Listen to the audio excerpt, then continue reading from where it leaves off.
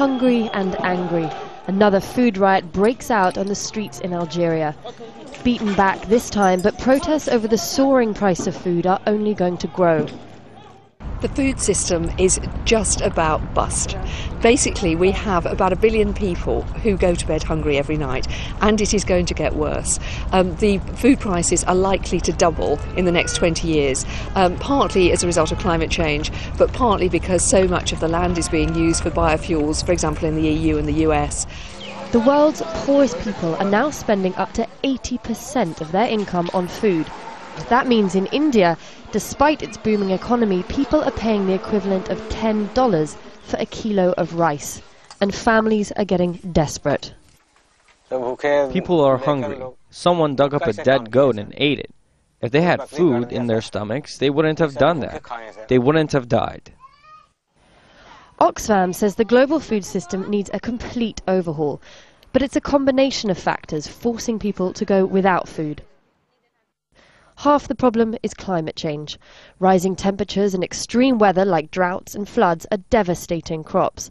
Then there's land grabs, vast tracts of agricultural land bought up by a few wealthy companies, often just to grow crops for fuel. And the failure of intensive farming. Crop yields are flatlining, and charities say small scale agriculture needs to be revived. In 40 years, there'll be roughly 9 billion mouths to feed. But unless governments invest in agriculture, build up food reserves, and create a climate fund, there just won't be enough food to go round. Charlie Angela, Al Jazeera. Are you ready? Do you have what it takes to not only survive hard times, but also thrive in them? In times like these, the most valuable currency we have is food and food reserves. It is more precious than gold, oil, and cash. Food is our greatest dependency because when you're hungry, nothing else matters.